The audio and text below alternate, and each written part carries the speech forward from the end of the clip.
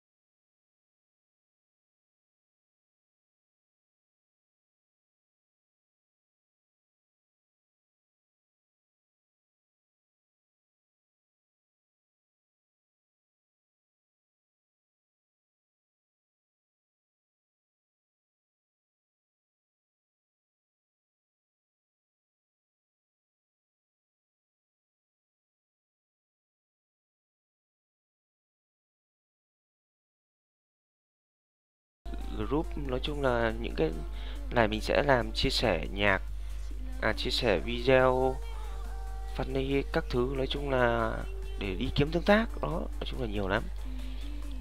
Để mình đỡ tốn tài nguyên, đó là mình mình mình không cần phải à, dùng nhiều account để mình chia sẻ, mà mình dùng fanpage. Và cái fanpage mọi người muốn có nhiều thì từ đâu ra? Thì mọi người có thể thuê cái tool rank fanpage bên mình. Đó. Demo thì mọi người có thể lên youtube và bấm chữ nguyên đôn cái chia sẻ ra. Đấy, thì nó, mình cũng có làm cái demo rank rank fanpage đây. Đấy rank fanpage tốc độ cực kỳ nhanh luôn, đà luồng. Đó set set admin về một một một via đó, mình nhìn thấy không?